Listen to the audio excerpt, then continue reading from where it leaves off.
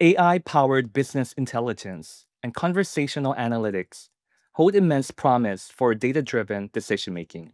However, directly applying these technologies to complex enterprise schemas often leads to inaccurate or inconsistent results, commonly referred to as hallucinations. This challenge arises because AI and BI systems may struggle to interpret raw data without a clear understanding of the organizational context and definitions.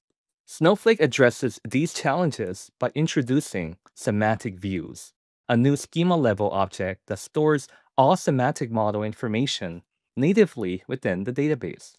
Semantic views capture and store semantic model information directly within the database, including business relevant concepts such as metrics, for example, total sales, dimensions, which could include product category, and also facts. So if all of this sounds like fun, let's dive in. I'm going to use a getting started workbook here, a notebook that uh, is also part of our quick start, which is going to be available when we launch at Summit.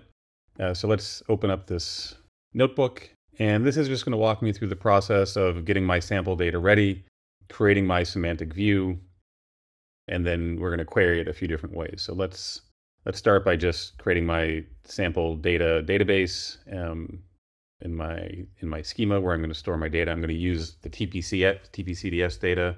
So here we're just going to create some views. Um, these views directly reference the data that's part of the Snowflake sample data schema that ships with every Snowflake instance um, on top of TPCDS. And let's just make sure I have my base schema objects that I'm going to build my view on top of. So this is a traditional star schema.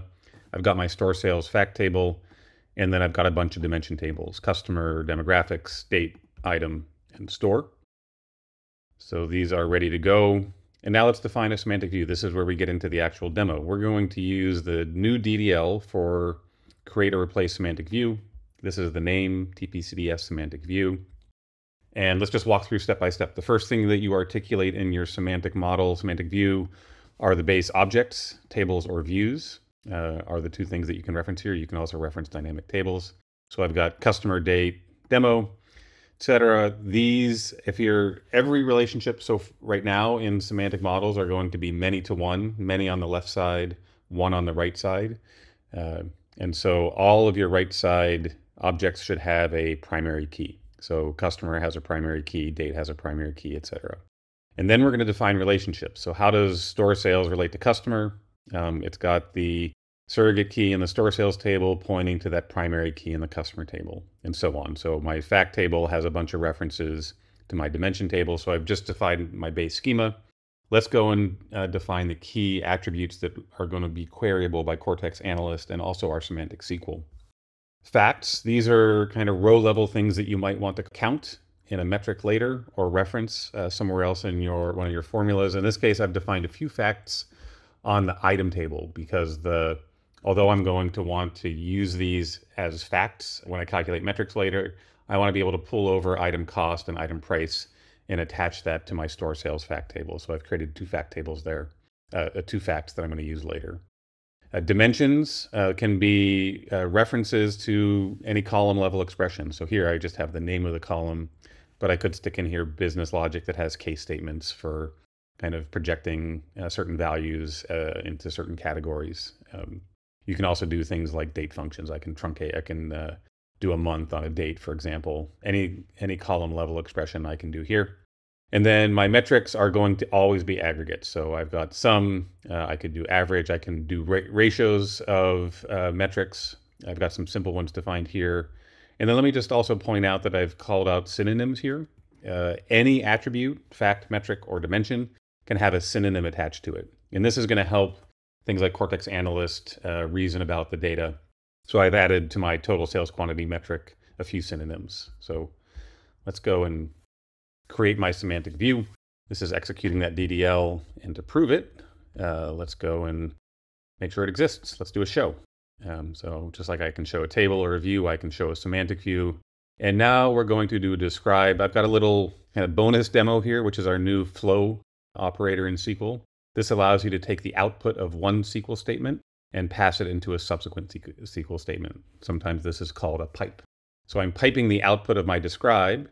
And what I want to take from that output is I want to select only these three columns uh, and I want to filter it. I only want uh, rows that are metrics, dimensions, um, and uh, the property is is a table. So what does this allow me to do? This is unrelated to semantic views, but it's a really nice use of the flow operator. Uh, if you've worked with uh, show and describe and kind of our metadata operations, you know you can't filter the results. Well, now with the flow operator, you can do it. So let's execute this. And uh, so I can now have like a nice, easy, easily readable list of all my objects, which are dimensions and metrics only.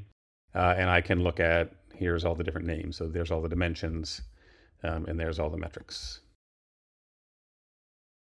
Now it's time to talk to my semantic view. Let's do it first with Cortex Analyst. Got a nice little um, thing here that uh, generates a dynamic URL so you can get a button that takes you to Cortex Analyst. Um, so let's let's go and we're going to ask this question: top selling brands by total sales quantity. Let's pop on over to Cortex Analyst. Uh, and here you can see the same semantic model that I defined via DDL is now available in Cortex Analyst. So that's that TP-CDS semantic view. If I go down and, for example, look at the fact, the metrics that I had on store sales, you'll see total sales quantity. Uh, you can see those synonyms that I provided are, are here as well. Let's see what Cortex Analyst has to say are the top selling brands by total sales quantity in the state of Texas in the books category in 2003. Uh, and we got a ranked list. Maxi Maxi number two with 282,466 total sales. Okay, so up until this point, this is Cortex Analyst using a semantic model to answer a question. Uh, what we just announced in public preview at Summit is also that you can query the same semantic view using SQL and our new uh, clause, select from semantic view. And when I say select from semantic view, inside my little parens, the statement is going to want the name of the semantic view, the dimensions that you're interested in querying, the metrics that you want, and you can include a where clause. So let's give this one a shot and, uh, and see what we get back. So I'm asking that exact same question. Show me the top items in the books category in 2003 in Texas. And lo and behold, Maxi Maxi number two, an exact same match with what we just showed over here in Cortex Analyst. So now, whether I'm writing SQL, whether I've got a Streamlit app, whether I've got a BI tool like partners like Hex or Sigma or Omni, I'm getting the same answer. Now, this is kind of a nice thing. You can now build an interactive app like a Streamlit app or a Python app. So we're going to take this query.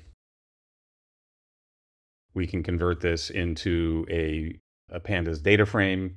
So if you're using Python, you can make a nice little data-driven app. So there's our results. Let's uh, convert this into a little data frame. And now I've got a nice little interactive app so I can look at my data. Again, this is the same results, same data that I'm going to get with Cortex Analyst, benefiting from that same metadata model, uh, but it's all uh, SQL based as well. So we really, customers have really loved this, this idea that I can kind of stick my toes in the water, get up and running on conversational analytics with Cortex Analyst and, and Snowflake Intelligence. And the semantics that I'm building to make that work are also working nicely with a traditional SQL interface, Streamlit apps, worksheets, my data science team. So that's it. That's all for our demo. Hopefully it's helpful, helps you get a sense of what we're doing. Again, we walked through in this demo kind of the creation of our sample data. We created a semantic view. Uh, we queried it a few different ways um, in both Cortex Analyst and in SQL. Thank you for watching until the end of the video. If you found this helpful, please give it a like, subscribe, and also turn on notifications. And as always, happy coding!